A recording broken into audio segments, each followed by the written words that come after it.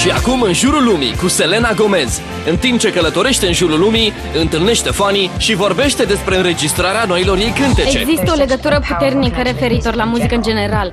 Dacă e vreun cântec în care te regăsești sau dacă treci prin ceva anume și asta se exprimă în versurile cântecului, asta înseamnă muzică pentru mine.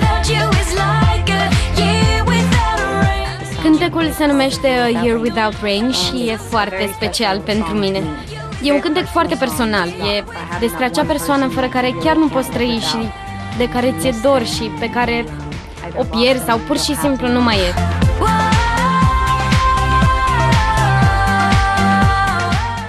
Vocea mea s-a schimbat mult și am învățat multe din punct de vedere muzical.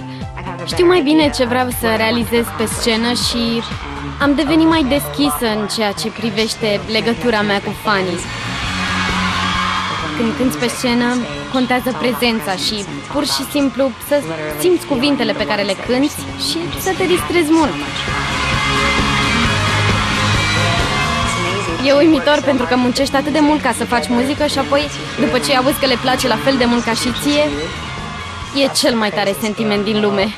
Continua să urmăriți în jurul lumii cu Selena Gomez, doar la Disney Channel. Crăciun